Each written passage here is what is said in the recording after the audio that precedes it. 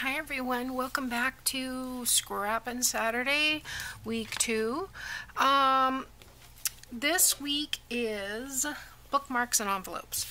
So I've been just sitting here playing a little bit. I took um, two 12 by 12 pages and cut them down so that I had a 6 by 6 from each that leaves me with a 6 by 12 for later and a 6 by 6 for later. And then I cut 3 and 2 and that left me with a 1. Where's the other one? Oh, here it is. They went everywhere. And I've, I've just been playing and I saw Shell, I think, do this, Shell Radcliffe one time, where she glued some book page to the, um, down to the cardstock and then um, kind of peeled it up before it was completely dry and it kind of came off but left some really cool uh, texture there. So for my first bookmark, that's what I wanted to do. And then I'm going to take one of these um, taller vellum stickers, I think, and use on there. I don't know why I bothered putting these away. Let's see. Um, what have I got? I need something longer. What I need is some die cuts, and I don't have any die cuts, and I don't have access to my die cut machine at the moment. So, um, maybe I'll look in the Tim Holtz one here and see what I've got. Um, this has pretty much everything in it. This is the Idea-ology Keepsakes. Oh, I know. I think I've got the flower one. This one's called Botanical. And I might be able to find something tall in here. So let's look. These are so pretty. And I don't want it to, you know, to overwhelm. I want you still to be able to see behind. But um, there, there's some, some fun stuff in here. Ooh, look how pretty that is. I mean, normally you'd use it across the top, but still. There's some that goes nicely with that. Pop that, that out. And then maybe I'll put, I don't know. See, I'm thinking I might have to ink some of these just to give some definition um, behind some of these things, but I didn't want to really spend the time. That's too big. Um, but maybe just to give that a little pop of definition just around the edges so that um, it doesn't just get lost in that background. But this per this is perfect for the colors that we're using here. So um, I don't want to use my glue stick for that part. I used the glue stick. What I did and I'll, I'll go ahead and show you uh, we'll make another one. Uh, but today I'm just making some bookmarks and I don't think I'm going to glue everything into the book right away um, because a lot of these things need to be in pockets or on other things. So I think what I'll probably do is just stick them inside the book with paper clip for now and until we get some places to put them. And um, yeah, so, oh look, that's going to look so cool. Look at that. All right. And then maybe we need some kind of a little um, label here. Like maybe right, right there. Labels are always fun. Maybe I'll go ahead and ink around this like I said, I don't want to ink everything. Um, I, I will be decorating these, you know, maybe later uh, in more detail, but basically I just want the structure because I want to say, oh yeah, I need to make some bookmarks or, or I want to make this or whatever. I don't uh, necessarily need to do it the same way every time. All right, I'm going to stick that right up against the edge there like that and then we need to get some some ribbon and I've got this really cool um, green thing in my scrap bin over here.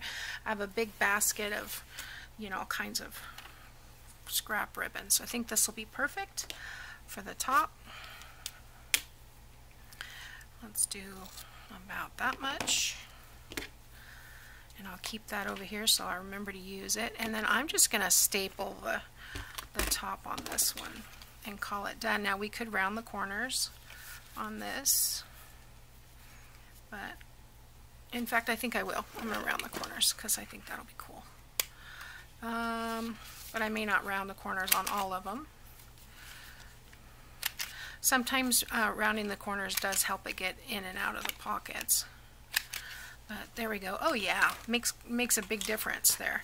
Okay, so let's let's get that in there, and I'm going to leave the scraggly side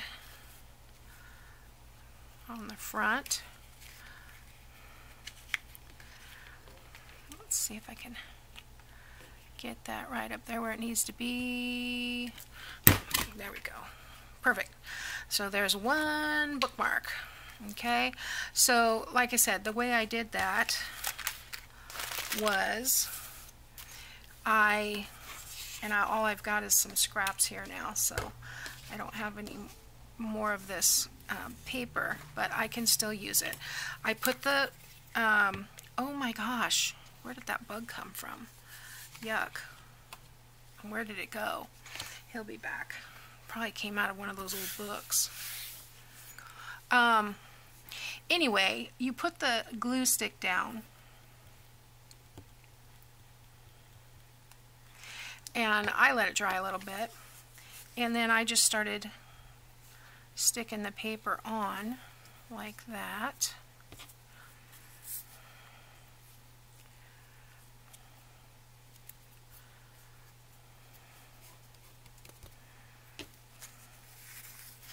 Don't necessarily want that, but like that. Okay, and then I used my bone folder. And I um, kind of burnished that down really well. Until I knew that glue, I mean it dries really quick so um, then I just start to peel back and some of it comes away and some of it doesn't and wherever it's lifting I'll go ahead and kind of tear it away and I'm pretty sure I, it was uh, Shel Radcliffe I saw do this and I thought it was really cool. I had seen it on on um, Pinterest but didn't really pay attention to what they were actually doing. So there again, I've got these pieces lifting here, so I'm just, and it'll it'll keep some of, of it with the words, but tear some of the page will separate. The longer you leave it, of course, the more um, the more that's going to stick. Um, but this part that had the glue on it, it's still kind of tacky, so um, any part that's lifting, pull from there.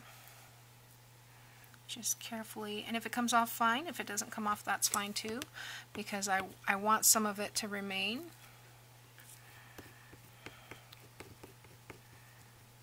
But it's basically a way that you can add texture like so. Alright and then now it's kind of uh, bumpy so I'm just kind of scraping off some of that and if some of it comes off that's okay. You see that piece came off. But this stayed. There we go.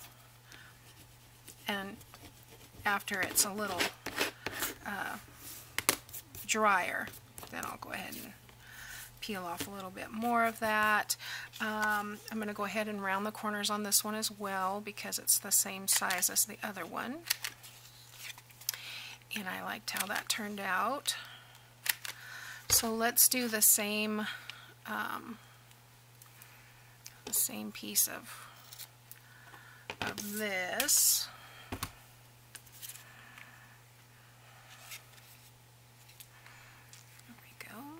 Get under there.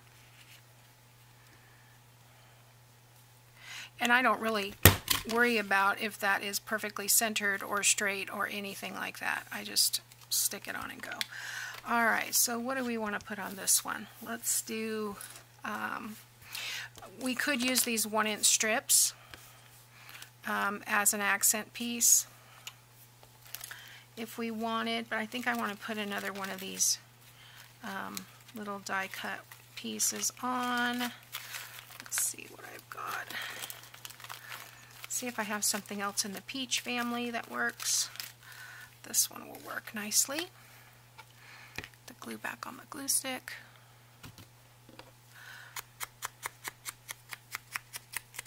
Sometimes the pink and the peaches can overlap, so yeah, that works fine.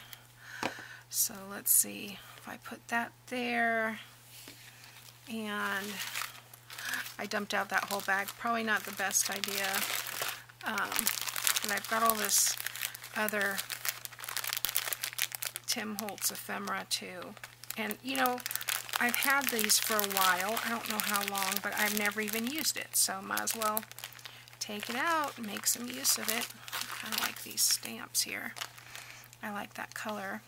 We'll make that underneath. Little pop. And I don't think we necessarily need a label on that one. So I think that's how I want to do it. Put a little bit of um, See this one little area. And you can take like a little um, piece of, what do you call this, nail file, and get off the pieces that that you don't want, you know. That's going to be under the flower, so I'm not worried about that. Alright, so let's ink this up a little bit, just so it stands out and I forgot to put the lid on the glue, so I hope that doesn't come back to bite me. Um, where I have this little open space right here is where I'm going to add those stamps. There we go.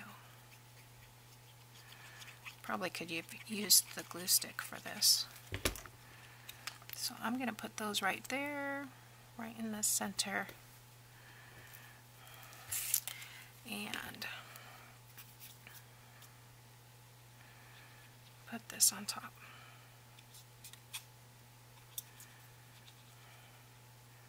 There again, you can add more or less as you like. I like that. That looks nice. And there's enough going on that it's interesting. It's not just a piece of scrapbook paper um, behind there. So there we go. All right, so we've got two bookmarks and um, I was thinking on these larger ones, now that I have all this stuff in my way over here, um, that I might, oh, this is that same piece of paper. Okay. Um, I don't necessarily want to do the same thing over here, though. So I think what I want to do here is kind of break up the monotony there. So maybe I'll go here and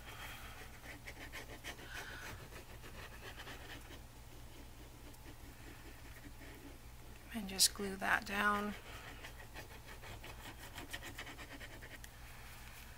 There again, if you draw straight lines uh, and put this on there, that would rip in straight lines, which would be cool too.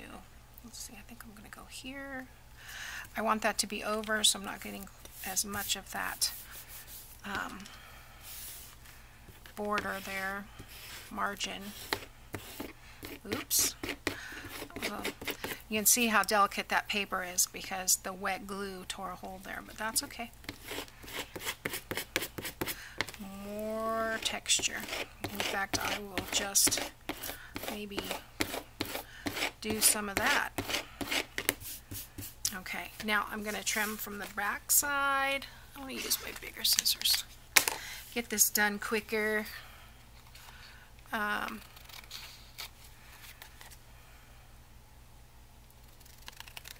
there we go.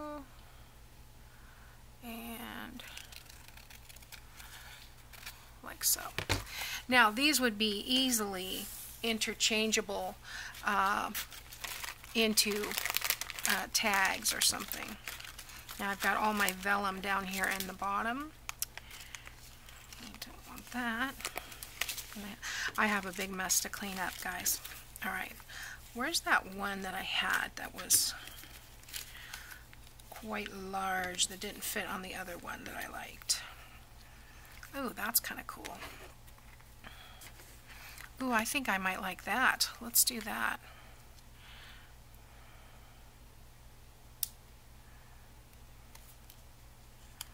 If you can get the right place and bend it down, I need to get out my tweezers because I think that tweezers would make lighter work. I think I'm just going to stick that right there. The colors are right. There we go. Okay, and then on this one, um, I think I will go ahead and I'm going to use my decorative punch. So let me get that. So, I mean, it could be a bookmark or a tag. Pretty much they're interchangeable. Um, so I'm just going to stick that in there. And this one in here. I'm only going to use do the top um, two corners. I got a little over. Okay. Just like that. And I think that looks cool the way it is. Okay. So let's um, let's do the same thing with this one.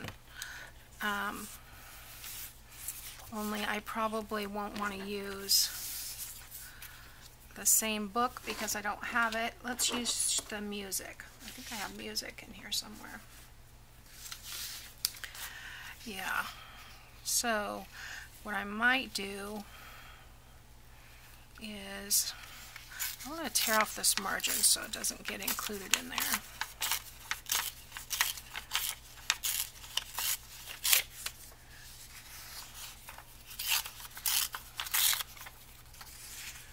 And then I already did right to left, so, or left to right, so let's do right to left. Let's do, okay, and we can glue that on. Yeah, I'm going to use my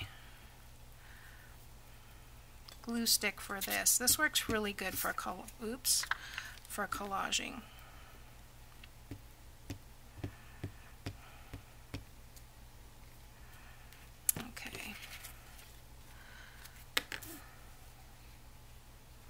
And I'm going to come up a little bit so I have a little bit of that floral paper showing on the bottom.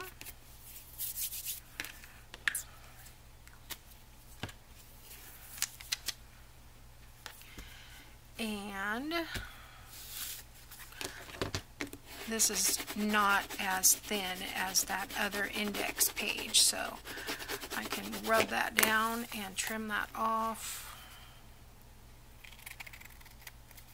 Oops.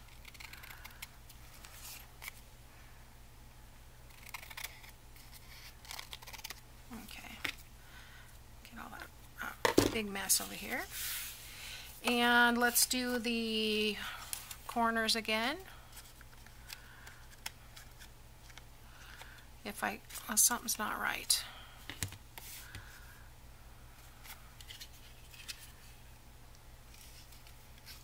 It's not wanting to go in. Let's do this one first. Did I cut it that crooked? There must be something in there in the way. Maybe I should use a different corner punch. Um, there we go. And sometimes it just gets hung up on something. There we go. All right. So once again, we have this. And I'd like to use one of these die cuts this time. So I think I want to use this rose because look at the colors in there and I think that'll be nice and I'm not going to worry about inking it because it's got enough contrast.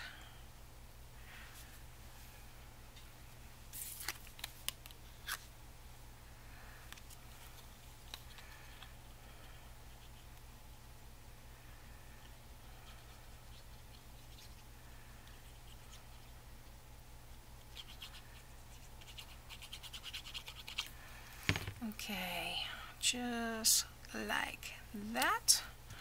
That looks nice. And I have one larger label here that I think I'll use for this one.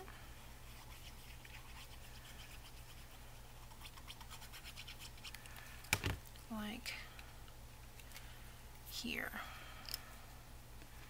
Here we go.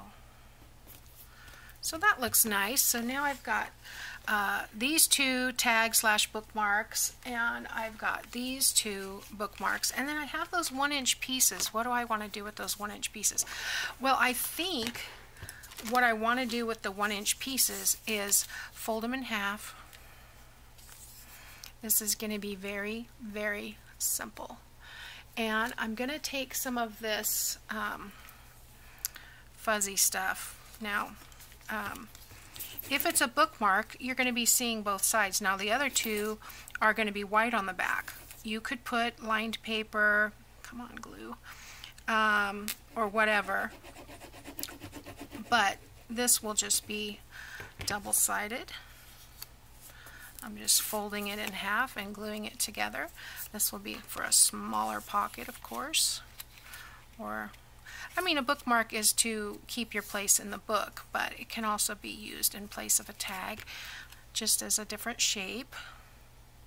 As a reminder, I'm following Cori Dahmen's um, Scrapbuster series on her channel, and that's what I'm doing for my Scrappin' Saturday. And I think on this one, I want to uh, all the information will be in the description box if you want to see. I will leave a, a, link to Cori's playlist. Alright, so this one I want to, um, well, hmm, I think I changed my mind. I'm not going to use this one. I'm going to actually tie a ribbon in these. And I'm going to tie a ribbon at the top where I glued them together. So I'm just going to punch a hole in both of these. I am going to do a smaller corner chomp on these. I'm going to do the quarter inch side. Um, I think it'll work better for these. And I'm just going to chomp all four corners.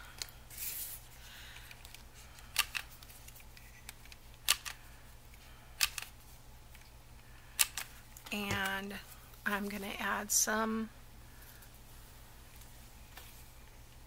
seam binding. So let's see, this is six inches and six inches. We always have that joke in our house, uh, Elf, where she's cutting the ribbon and he's like, six inches. And she says, you can't do a bow with six inches. And I always use six inches when I'm making my little uh, tag toppers, but I will admit, and I have glue all over, I will admit that it is hard to tie a bow with six inches, so I can back her on that one. Just gonna stick that in there, do a little lark's head knot, and call this one done. You could put uh, a little word or saying or something on there if you wanted, um, but I'm not going to do it at this time. Um, I don't know that I have any small stickers or small embellishments here that would fit on here, um, but I think words would be really nice, or a little verse or quote or something would be fun for these.